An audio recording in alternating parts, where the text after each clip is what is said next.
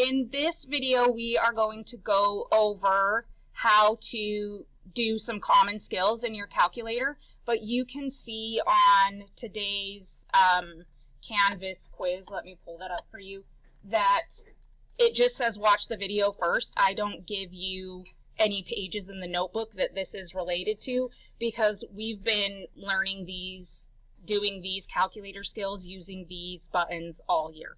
So I'm going to do a really, um, as usual, quick overview of, of what you will need to do for this quiz, and then you can get going on it. So the first thing that you want to do for this quiz is make sure that the settings in your calculator are what they should be. So I'm going to give you this little piece of cardstock that is like a reference sheet for you guys so that if you forget, you can hopefully look at this and be reminded of what you're doing.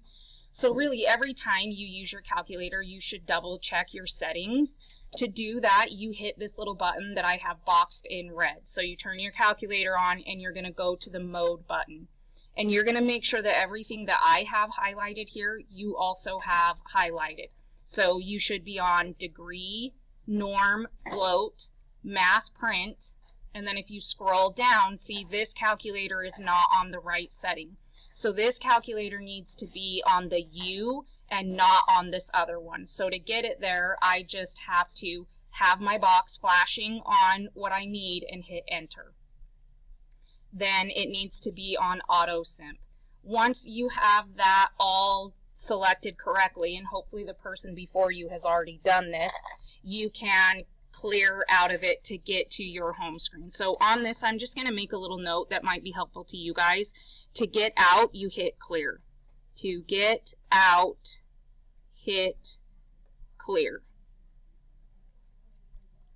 So then when you go through and do these problems on this quiz, you should be getting all the same exact answers that I got if your settings are right. And you probably should check your settings each day. Um, I know that it's annoying, but it should be really quick. Um, that way you can ensure that you're always getting the right answers.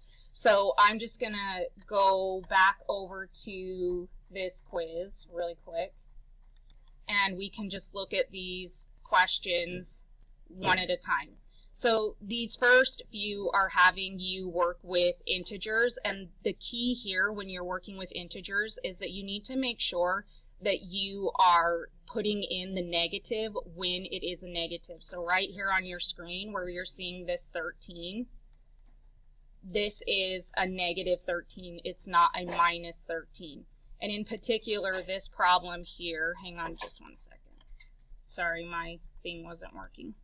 This here, I don't know why it won't let me click on it. But this negative 2 minus a negative 15, you have to be careful about that. So on your cheat sheet, I have that right here. That when you plug this in, this first one is a subtraction. So notice I give you that button. To enter this, you have to hit your subtract button. But then this second one is a negative, so you have to make sure that you hit your negative button.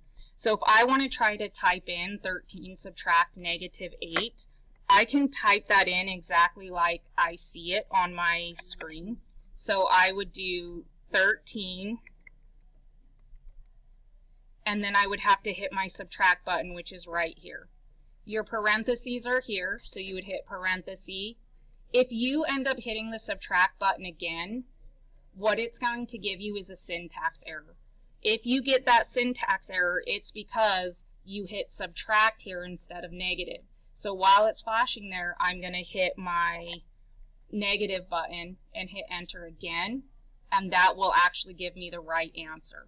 So this 13 subtract negative 8 turns into a positive 21. So that's the first key here that I need you to pay attention for is that your negative and your subtract are different and you have to be really careful about it. If you're unsure it, whether the problem is asking you to do subtract or negative, try it both ways and see what happens. Normally, one way will give you a syntax error, so that would be your indicator that you need to try a different way.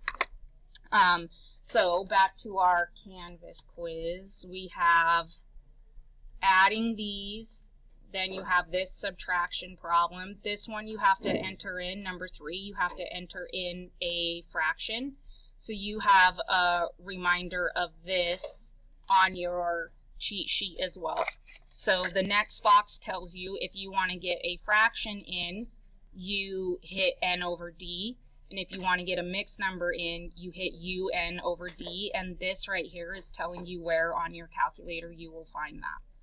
Um, make sure, like on this problem, that when you have a negative, when you enter this into your calculator, you are not losing track of that negative. On number four, you would enter this in exactly like you see it into your calculator with the parentheses. In fact, for the rest of these, you will. So like on five and six, where you see this parenthesis, you want to make sure that you're actually using your calculator and your parenthesis buttons right here to enter things in exactly like you see them. So that's part of why I'm having you take this quiz because I want you to practice plugging things into your calculator exactly like the problem gives them to you. Here, when you're doing this subtraction problem, to enter that into Canvas, so if I gave you like, um, let's do 5 eighths minus 1 third, my answer is 7 over 24. To get that into Canvas, do 7 backslash 24. Enter it in like this with your backslash button. If you don't know where that is, raise your hand and I'll come over and show you where that is on your Chromebook.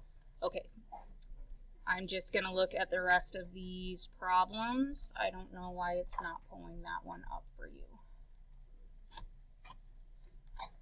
Oh, sorry, hang on. Okay, sorry, I couldn't get my canvas up, so I had to pause the video really quick.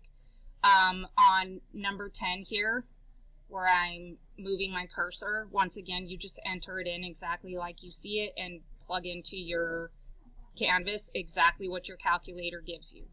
Once you get to 13, 13 through 16, you actually have to do some converting, and that is this bottom part on your cheat sheet. So right here, it has fractions to decimals this button that has the red box around it, that tells you how you convert. So like if you want to convert 5 and 3 eighths to a decimal, you're going to use your mixed number button. Type in 5 and 3 eighths, arrow over, and then hit this double arrow button.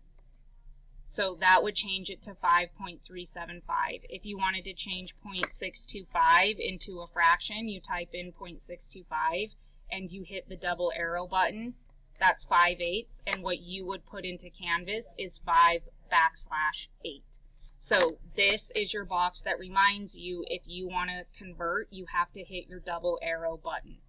Then the last thing to mention before we stop this video is that on Canvas, it wants you, if the decimal explodes, to round to the nearest hundredth. So on my cheat sheet, I'm going to make a note of what that looks like. So if something asks you to round to the hundredths, that means you want to make it look like money. So if I type in 1 sixth into my calculator and I change it to a decimal, it explodes. So my calculator literally gives me one, a bunch of sixes, and then at the very end is seven. So in Canvas, you are either going to type in 1 6 or 1 7. It depends on how you round. If you know how to round, you would do 0.17. If you don't, you just write down the first two digits. So when you're rounding to the hundredths place, you are writing the first two numbers after the decimal. So on these last few problems, that's all you have to do is plug it in. If it explodes, write down the first two numbers that you get after the decimal. Okay, that's it. Hopefully that's helpful.